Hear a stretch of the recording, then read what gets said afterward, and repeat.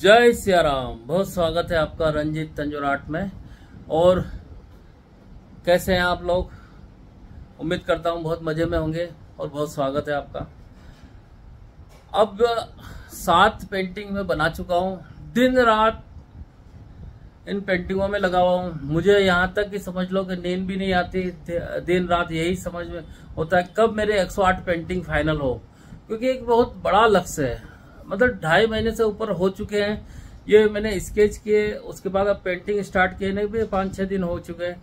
तो मेरा एक ही लक्ष्य है कि जितना जल्दी हो, वो पेंटिंग बनाऊँ।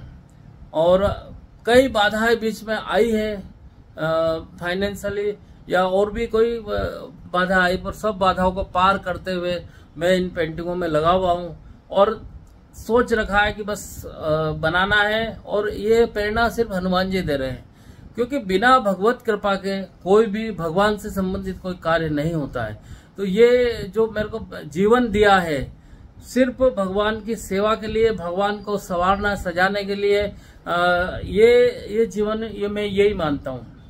क्योंकि दिन रात, अभी तो संपूर्ण रामायण जी का मैंने एक संकल्प लिया है। तो दिन रात बस भगवान की पेंटिंग बनाना, यही काम मुझे भगवान ने दे रखा है।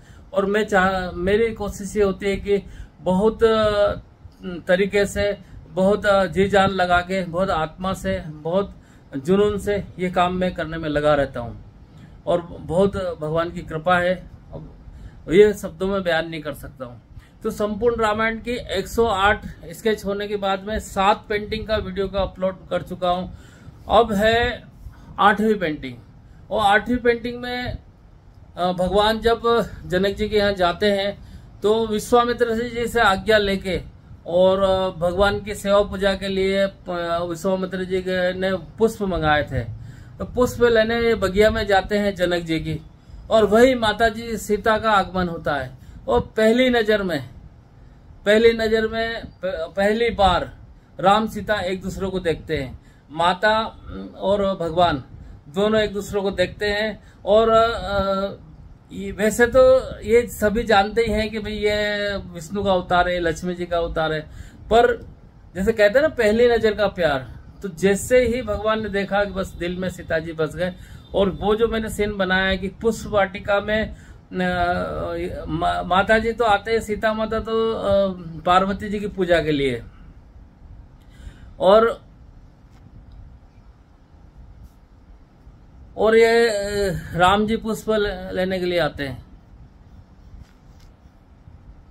तो ये सीन मैंने बनाया है, ये मैं दिखाता हूँ। जैसे ही भगवान पुष्प चुनते हैं एक एक पुष्प चुनते हैं और इतने में माता जी सीता माता आते हैं और दोनों की नज़रें चार होती हैं। और ये सीन मैंने बनाया है पुष्प वाटिका का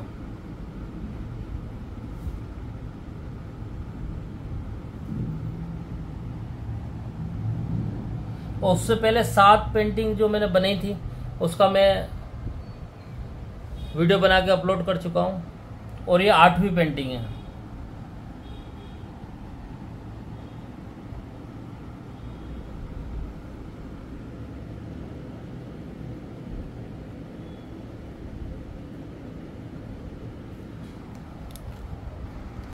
तो दोस्तों, कैसी लग रही है मेरी पेंटिंग अपने सुझाव दीजिए और कमेंट्स कीजिए, और जय सिया राम लिख के प्रोत्साहित कीजिए मुझे।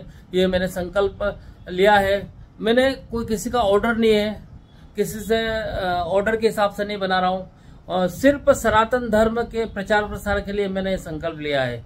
क्योंकि मैंने देखा कि सनातन धर्म के लिए मैं क्या कर सकता हूँ। तो मुझे एक ही समझ में आया कि भाई मुझे वो पेंटिंग बनानी चाहिए जो वर्ल्ड में कहीं नहीं है। दूसरा पीस वर्ल्ड में नहीं है। और इस पेंटिंग का दूसरा पीस है नहीं, क्योंकि जो भी बनाया है, सिर्फ़ सोच के बनाया है इमेजिनेशन से बनाया है, जो अभी तक राम जी के बारे में पढ़ा, सुना, उस हिसाब से बनाया है। किसी की ट्रेस नहीं उतारी, किसी को देख के नहीं बनाया है मैंने। और अपने भगवान से, हनुमान जी की प्रेरणा से सारे स्केच किए हैं। उसके बाद ये पेंटिंग बना रहा हूँ मैं। ये कहीं भी इसकी कॉपी नहीं मिलेगी, कहीं देखा नहीं होगा, कहीं किसी ने इस तरह की पेंटिंग नहीं देखी होगी। तो मिनीचर पेंटिंग में संपूर्ण रामायण 108 पेंटिंग का मेरा खुद का संकल्प है। भगवान श्री हनुमान जी की कृपा से। और दोस्तों, अगर आपको भी बनवानी हो तो मेरा कांटेक्ट नंबर नोट कर लीजिए। मेरा कांटेक्ट नंबर है nine three one double three double two four three one. जय हिंद दोस्तों, मिलते हैं हम अगले पेंटिंग के वीडियो में। जय भारत, हिंदू राष्ट्र, जय सनातन धर्म।